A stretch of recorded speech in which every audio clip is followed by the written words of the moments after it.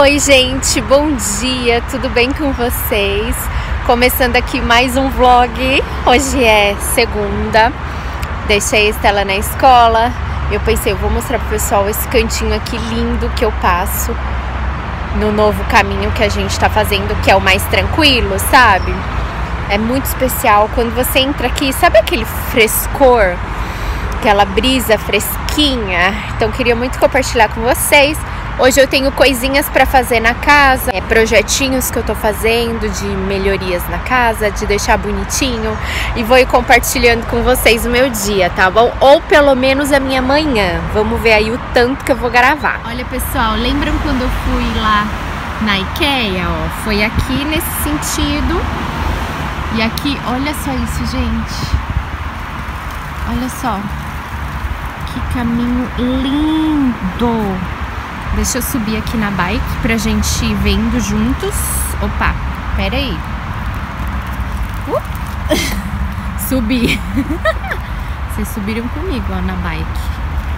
Olha aqui, gente. Não é mágico?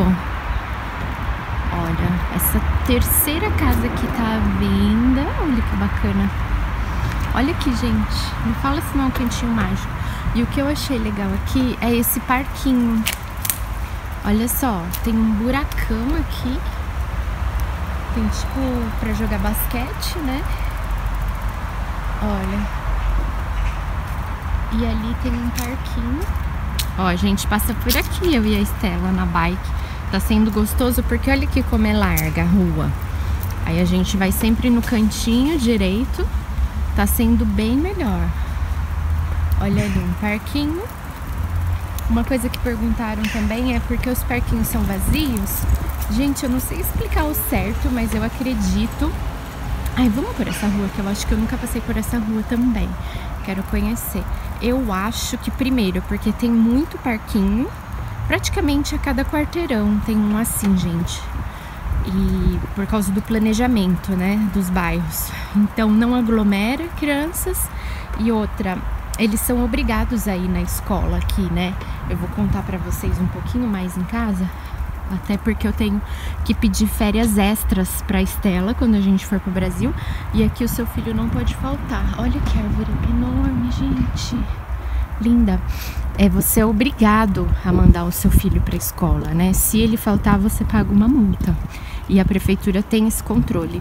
Então, qualquer evento assim que ele vá precisar de férias extras, você tem que pedir na escola e eles avaliam, tá bom? Então, eu não sei, gente. Eu acho que é por isso que é mais vazio, porque eles ficam na escola das 8 e meia às duas e meia e aqui eles têm o costume de combinar de brincar com outras crianças depois da, da escola. Eles brincam, né? Vão na casa um do outro brincar e não sei, eu acho que é por isso mesmo. Mas aí eles vão mais no fim de semana, só que tem os parquinhos grandes também. Olha só que gostosa essa rua. Essa aqui eu já passei, mas nunca de bike. Não, aquela lá atrás.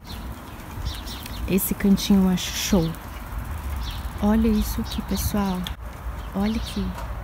Esse negocinho aqui é para não entrar carro, né? Para bloquear. Olha só, gente. Não parece misterioso? As pessoas deixam o carro aqui fora, ó, estaciona aqui e vão, vão morar ali. Olha, tem uma casa à venda também. Acho show de bola. E vou continuar aqui até em casa. Pessoal, alguns de vocês têm me perguntado também sobre a questão da garagem, né? E perguntaram, né, se não é, não prejudica o carro, sol, chuva. Gente, eu acho que sim, tá? Mas aqui é tão cultural isso, ó. Ou você tem compra casa com a sua garaginha privada do lado, ou você pode comprar assim, ó, que eles falam garage box. Sabe? Então, por exemplo, se você mora nessa rua, aí você não quer deixar o seu carro no tempo, você compra isso à parte, né? E você pode deixar o seu carro. Mas assim, a minoria das pessoas fazem isso. A maioria deixa na rua mesmo, né? O carro. Mas eu acho que é melhor sim você ter uma garagem para cobrir, deve é, conservar bem mais o carro, né? Pessoal, outro cantinho que eu tô amando passar, olha aqui essas hortênsias, gente. É esse aqui, ó. Pelo caminho novo a gente passa aqui, eu e a Estela. Olha como é sossegado, ó. A faixa da bike aqui, desse lado, e passa pouco carro. É bem diferente da outra ciclovia que a gente tava pegando, sabe? Que tinha ônibus, que tinha tudo. Então agora tá muito mais tranquilo. Olha essas casas, gente, que graça. Essa rua ela é tão fofa, sabe? Deixa eu parar aqui para mostrar mais para vocês. Olha isso aqui, gente. Olha só. Ai, que magnífico esse. Não sei se é pinheiro, né? Como que chama? Olha, que coisa mais linda. Ali tem um escritório de advocacia, ó. Olha que engraçado na área residencial. Fazer uma propaganda até, né? Olha lá, é, escritório de advocacia. Muito bacana, né? Olha aqui, gente, como é pacífica essa rua. Então a gente tá passando sempre por aqui e tá sendo bem melhor, viu? Pra Estela, ela tá gostando mais de ir por esse caminho.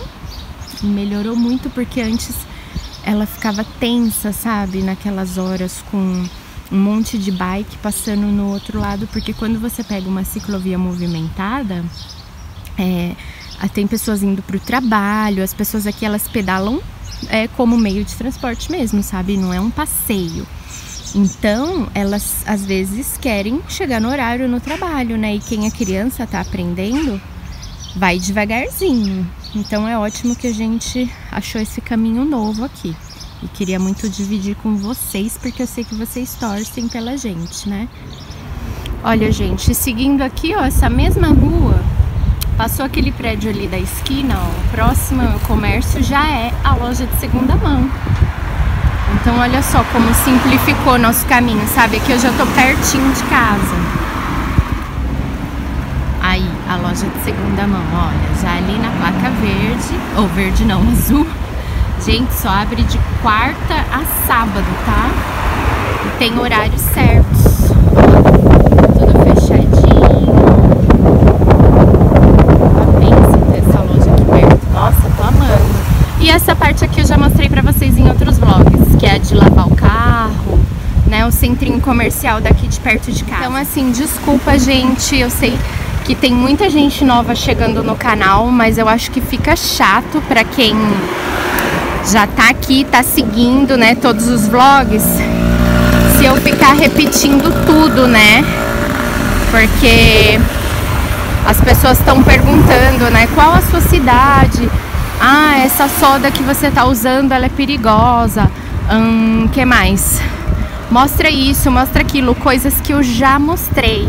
Então, me desculpem, mas eu preciso assim levar em conta quem já tá aqui seguindo o canal, né? E eu não posso ficar repetindo todo o conteúdo, senão eu acho que fica muito chato para quem já tá aqui, para quem segue, né? Os vlogs. Não sei se vocês concordam comigo. Então, por favor, pessoal novo que tá chegando, deem uma olhadinha nos vlogs antigos, tá bom? Que aí vocês vão ver, né? São várias perguntas, eu só dei um exemplo agora, né?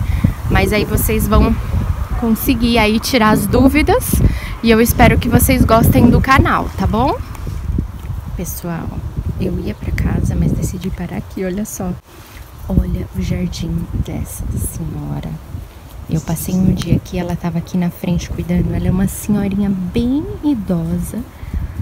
E ela tava aqui, aí eu parei, elogiei o jardim dela, né? Porque outra coisa que é muito comum aqui, gente, que eu tô percebendo, é elogiar o jardim dos outros. Que nem quando eu tô lá na frente, várias pessoas já passaram e falam que as hortênsias estão lindas, né? Então eu acho assim que eles gostam que elogie o jardim deles também, sabe? Aí, olha só, também tem uma pessoa, né, ó, que colocou a mochila aqui na casa dela, como eu já comentei em outros vlogs.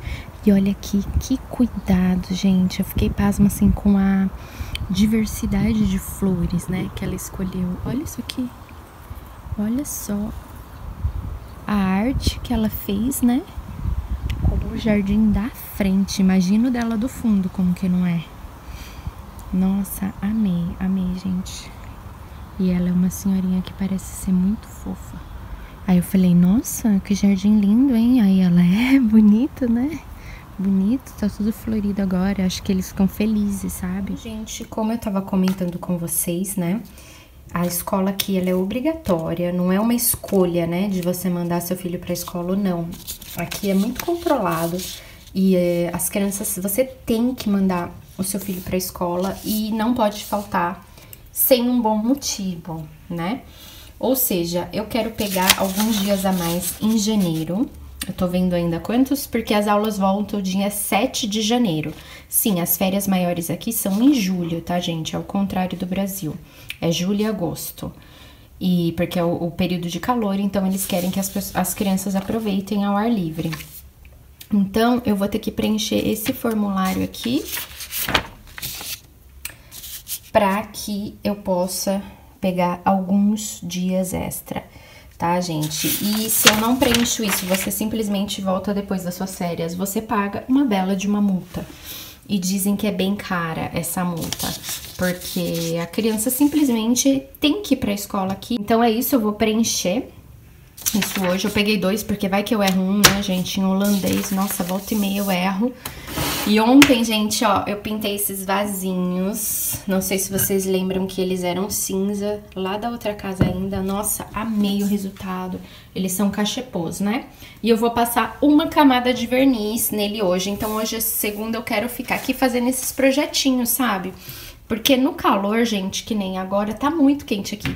A gente sai muito, ontem a gente foi pra piscina, então eu sinto falta de fazer esses projetinhos, porque o fim de semana passa voando. Acabei não né? comentando com vocês, mas eu pintei tanto o espelho, como vou pintar esses aqui, com essa combinação, ó, tudo lá da Action. Eu passei um primer. Gente, eu gostei muito do primer, primeira vez que eu uso.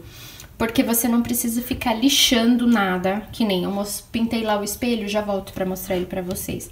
Eu não precisei lixar nada, simplesmente você passa isso aqui porque fala que ele impede, ó, reduz a absorção, camada preparatória, sabe? Ó, é uma, era uma madeira tipo essa aqui, lisa, né? Eu simplesmente passei ele uma camada. Depois dessa aqui, eu acho que eu passei duas, ó, tinta decorativa Chalk Paint. Eu acho que eu passei duas. Você vê quão branco você quer, né? Ou da outra cor. E depois no espelho eu passei esse daqui, ó, verniz acrílico brilhante, gloss. E amei o resultado. Ó, esses aqui estão sem o gloss ainda. E olha aqui o espelho. Gente, não repara a bagunça não. Olha aqui a vida real. Tudo de ontem, domingo à noite, todo mundo aqui na sala, ó. A Estela foi pra escola, deixou a filha dela aqui, ó. Dormindo. Ai, gente, tão fofo, você acredita? Acreditam que ela deu beijinho na nenê antes de ir embora? Beijinho, fez carinho. E eu sou avó, vou ficar cuidando pra ela enquanto ela tá na escola, tá? Ó, tudo jogado, mas gente, eu não me importo, porque a gente curte tanto domingo, aí fica com uma preguiça no sofá, então eu arrumo hoje. Ó, gente, o espelho, como ficou bem mais brilhante, ó. Eu adorei, deixa eu acender. Já comento um pouco com vocês porque que fica mais escurinho aqui dentro. Então, olha só como ficou, ó, do verniz, gente. Ficou bem mais brilhante, ó, não ficou? Eu adorei o toque final. Agora eu vou limpar aqui com o vinagre de limpeza puro, porque tem uns, umas manchas de tinta ainda, vou remover com ele. E é isso, hoje meus projetinhos. Gente, fica escuro aqui porque a gente desce aquela... Como que fala, gente? Coberturinha. E essa aqui, ó. Então, o sol praticamente ele não bate dentro da casa. Então, por isso que aqui dentro fica fresquinho, e lá fora tá tostando, pessoal, tostando. Então, é isso. Eu creio que é por isso que a casa, nossa casa aqui fica fresquinha, mesmo estando tostando lá fora. Então, acho isso bem legal. Então, bora lá, vou arrumar toda essa bagunça, pôr roupa branca pra bater. E hoje vou me dedicar mais aos projetinhos, porque como vocês viram, eu limpei bastante no sábado. Bom, gente, deixa eu mostrar minha situação pra vocês aqui. Já são uma hora da tarde, eu já fiz várias coisas. Eu preciso só agora comer, né, que vocês sabem que é um lanchinho rápido. e tirar o meu descanso. Olha, terminei, passei o verniz, né? Olha como ficou melhor. Deixa eu ver, já tá seco já. Olha que mais brilhante, gente. Então, tô muito feliz com esse projetinho. Mais um concluído. Ali, olha como ficou a gravura, pessoal. Gente, o Patrick amou, amou, amou. Porque ele adora essas coisas de história, sabe? Tudo que é assim de história, coisa antiga, ele adora saber. Aí ele ficou aqui analisando, né? Então, olha, tem realmente esse galo aqui, acho que é um galo, né, no topo da igreja, quando a gente vê lá na cidade. Muito legal, ele ficou bem feliz. E ficou um pouco mais com uma característica nossa, né, gente? E como está? Organizei bastante. Aqui, né, tudo isso eu vou levar lá pra cima, que são brinquedos da Estela. Estendi a roupa branca. Gente, eu tô tentando mostrar coisas diferentes pra vocês, pra não ficar tudo, toda vez a mesma coisa, tá? Porque toda vez, gente Todo dia eu vou bater uma máquina de roupa, retirar o lixo da casa, tirar a louça da máquina. Então são coisas do dia a dia, né? Dar uma limpadinha ali no sanitário, jogar um produto dentro. Então eu tô tentando assim mostrar coisas diversificadas para vocês, tá bom? Por isso que eu não tô mostrando assim passo a passo da rotina. Então, gente, nesse meio tempo eu fui ao mercado e fui na Crowdvat. Deixa eu mostrar pra vocês aqui como eu fiz a divisão do dinheiro. Eu saquei hoje, tá? Ontem a gente foi na piscina. Então, geralmente eu deixo na mão do Patrick o dinheiro do fim de semana, porque ele gosta de passar débito, ele não gosta de ficar sacando dinheiro. Então, ok, a gente foi na piscina, lanchamos lá. Então, foi com o dinheiro de lazer, né, do fim de semana. Aí eu deixei aqui nessa bolsinha que eu mostrei pra vocês. Quando eu comprei, eu deixei 4 euros para se eu for tomar um café com alguma amiga durante a semana. Então, esse vai ser o dinheiro da diversão, fun money. Aqui eu coloquei 5 euros para eu comprar coisinhas para casa, assim, de organização, decoração, tá? E aqui tem o restante do dinheiro para compra do mercado, tá? Eu ainda tinha um pouquinho, gente, na minha carteira, por isso que tá dando mais. Só que eu vou, se sobrar, aí eu deixo pra semana que vem também. E é isso, gente. Eu vou tentar fazer assim, ó. No mercado eu gastei 21 e 89. Na Crowdvat acho que foram 12 euros, né? Não sei onde eu pus a notinha. Essa caixinha aqui, eu queria encapar ela com contact agora de manhã. Mas é, não vai dar tempo. Se a Estela estiver tranquila, eu faço com ela à tarde porque ela adora essas coisinhas de artes manuais, mas se ela quiser fazer outra coisa, à tarde eu dou prioridade para ela mesmo. Aí eu vou recortar ainda é, do ta mesmo tamanho dessa e colar por dentro, sabe, gente? Pra ela ficar mais firminha, mais fortinha. E vou usar na organização, vou encapar com restinhos de contact mesmo que eu tenho por aí. Ou tecido, eu vou ver se eu tenho um, um tecido pra encapar ela. Deixa eu ver ah, aqui. perguntaram como ficou o resultado da calça, pessoal. Eu fiz só uma barra por enquanto. Olha aí, eu tenho tanto projetinho, não dá tempo de fazer tudo. O tempo é curto. Ó, fiz de um lado, assim, ó. E agora eu quero dar um pontinho aqui pra ela não ficar desenrolando, ó. Estão vendo? Vai ficar bem do jeito que eu queria. E vou fazer a mesma coisa na outra barrinha, tá bom, gente? Aqui na mesa, eu tirei a cesta de pão, como eu comentei com vocês que eu queria, né? E vou deixar só um vaso, assim. Eu acho que fica bem mais clean. E o que eu fiz, eu escondi meus jogos americanos aqui embaixo para já ficar mais prático. Ó, o da Estela tá aqui.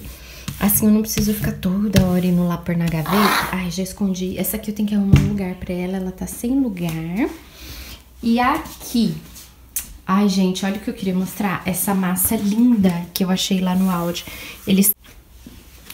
E a fruteira que tava lá, gente, eu passei pra cá. Ó, eu deixo assim com essa capinha pra ela para cobrir mais as frutas, né? Agora no verão, às vezes dá aqueles bichinhos de banana, sabe?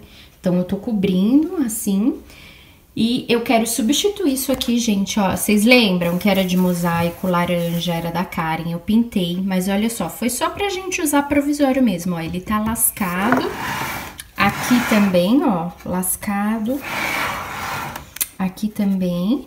Então eu vou me desfazer dele também porque eu acho ele muito grande. E eu quero comprar uma fruteira de vidro. Ó, eu até tinha vernizado ele, né? Pra colocar as frutas. Mas eu quero uma fruteira de vidro, né? Vou ver no, na loja de segunda mão se compensa ou na Action. E depois eu mostro pra vocês.